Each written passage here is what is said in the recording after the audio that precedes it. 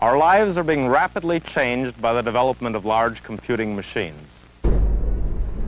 This cyber threat is one of the most serious economic and national security challenges we face as a nation. This country is completely under attack 24 7. In the real world, if someone wants to hurt you, they can just walk up to you on the street and shoot you. It's the same online. If someone wants to hurt you or steal your private information, they're probably going to get it. There's nothing you can do to protect yourself.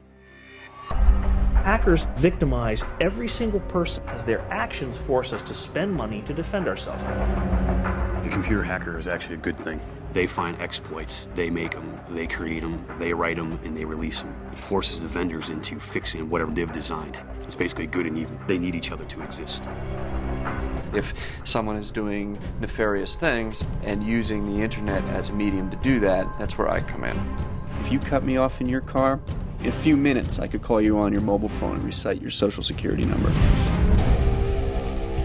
No one's talking about the individual. And with the advent of computers, and more importantly, computer socialization, all the technological trends that are affecting us, things like Facebook and Twitter, are enabling massive invasions of privacy. For the first time in our species' existence, we need to define a privacy policy. Companies have interest in collecting information about you, and it's cheap and easy for the government to get a hold of it.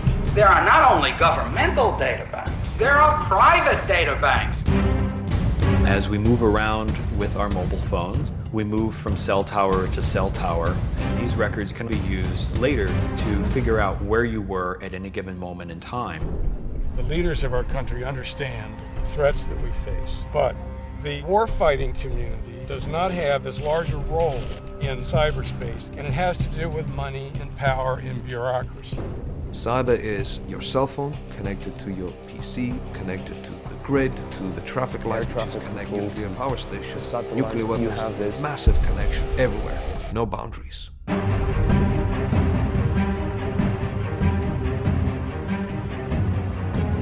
Millions of Americans have been victimized, their privacy violated, their identities stolen, their lives upended, and their wallets empty. Data storage is cheap. Records are being kept. It'll be around forever. How does that change your behavior if everything you've ever done is recorded somewhere?